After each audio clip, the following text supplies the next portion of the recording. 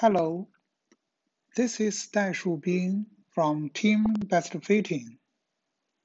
I'm very happy to be here and introduce my solution to you. It's a great pleasure to solve all kinds of problems on Kaggle. GSDC of this year was well designed, stable, and challenging. It's quite lucky to get the second place from this competition. I will introduce my solution in the following aspects. Challenges, overview of my solution, details methods of my solution, and the results. Challenges the first challenge is the data quality.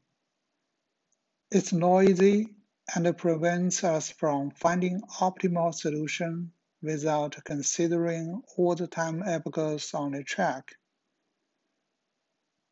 The second challenge for me is that I'm quite lack of background knowledge in GNSS field. I have to spend much time to read books papers, notebooks to understand the data and the solutions. Uh, as we know, this competition is held to find new and better solutions after next year's success. This means I have to find a new method or improve the winning solutions for next year's competition. So the third challenge for me is to design upon and improve next year's solution.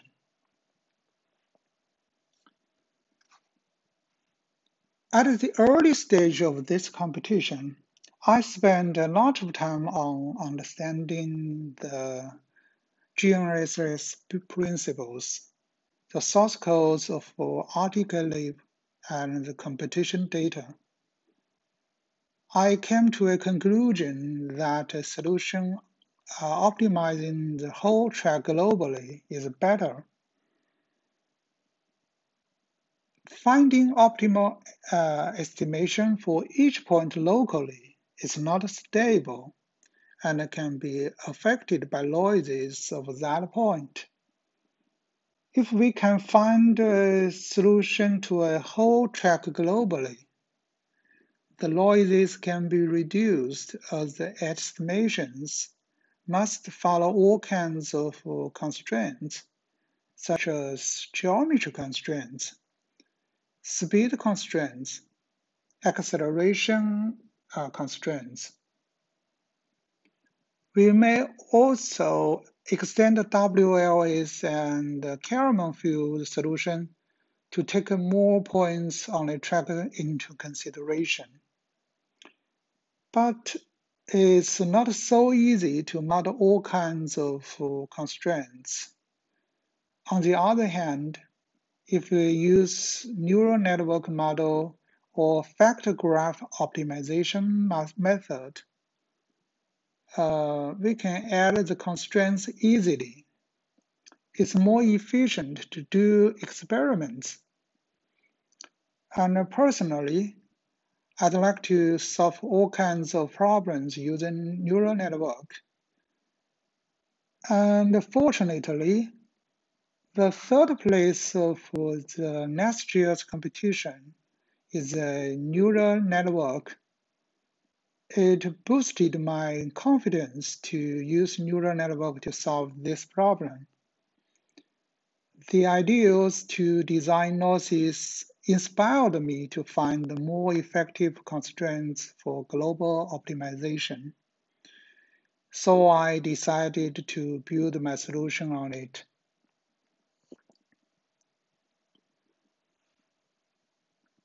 Uh, here is the overview of my track model. It's a neural network model with two main modules the track module and the phone module. They take all the points on a track as inputs and optimize them globally.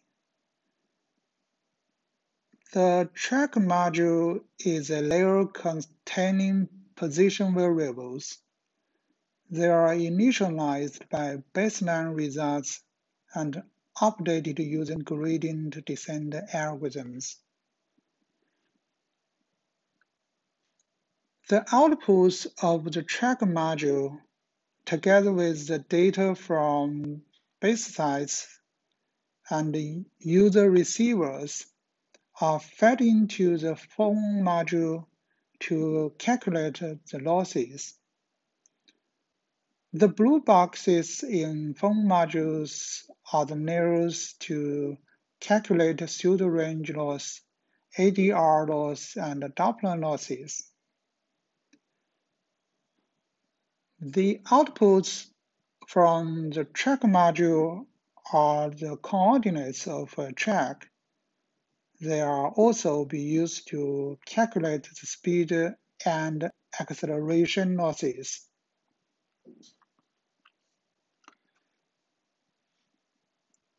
In this slide, we can see how the losses is calculated.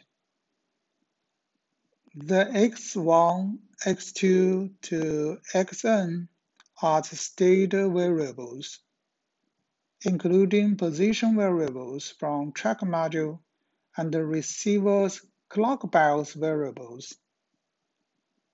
Uh, as we can find, it's quite similar to the factor mm, graph optimization method.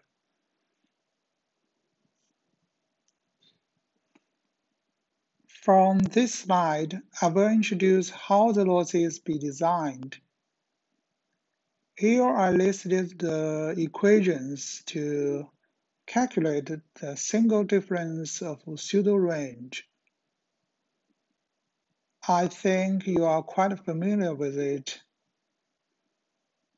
For example, with Formula 7, we can solve the position and uh, clock bias by using WLS method.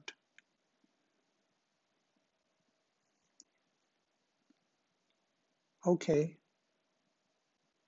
Next slide. Now I will introduce how the pseudo-range loss designed. The XB in this slide is the baseline result of a point on a track.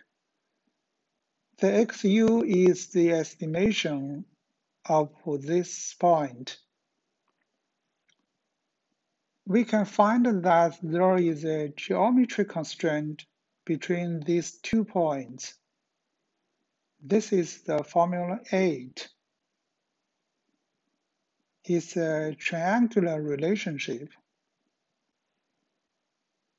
It's worth to mention that if two points are close enough, the angle to the satellite can be assumed to be the same. Because the satellite is far away from the two points, so the two lines are parallel. The left part of equation 10 is calculated from observation variables. The delta U, delta R can be treated as variables to be estimated, named bias. Then we can get equation 11 Set the left part of equation 11 as the loss of pseudo-range. Uh, then we can get equation 12.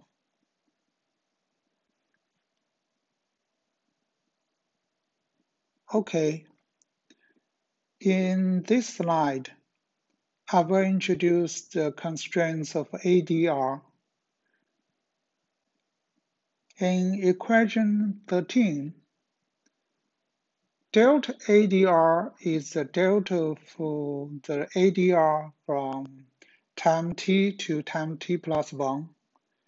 The value is equal to the distance to the satellite between two epochs, as shown in equation 14. We can also find there are also uh, there are some geometry constraints between the two time of epochs. If we are familiar with double difference algorithms, it's easy to understand. In equation 17, we introduce a variable to model the bias between epochs. So we can define ADR loss in equation 18. And we can also define Doppler loss as shown in equation 19.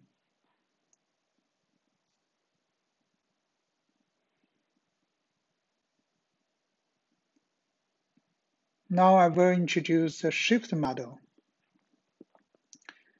After getting predictions from any model, the results can be adjusted by shift model.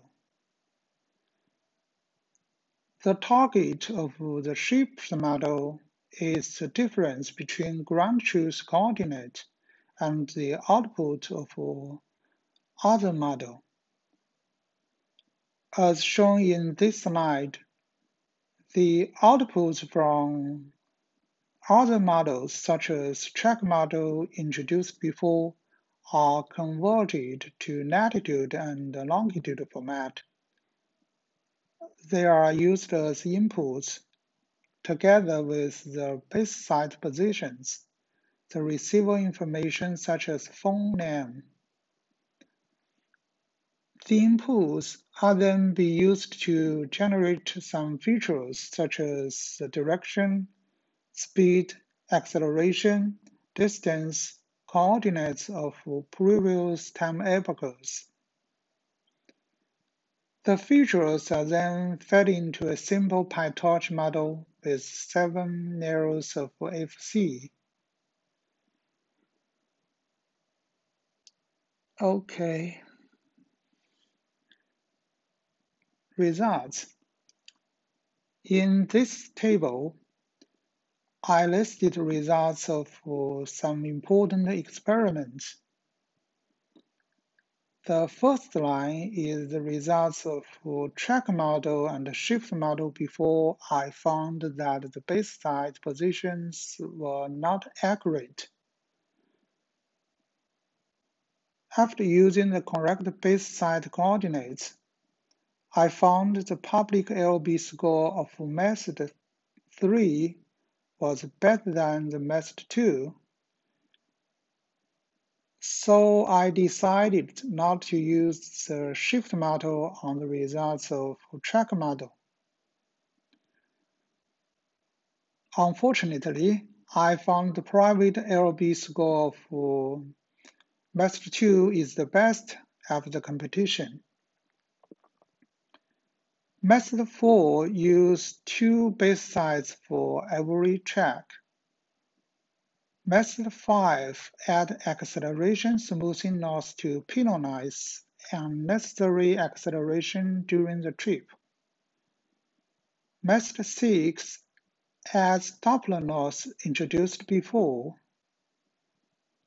When using shift model on predictions from method 7, and master line, the scores are improved too. The final submission is an ensemble of the methods introduced before.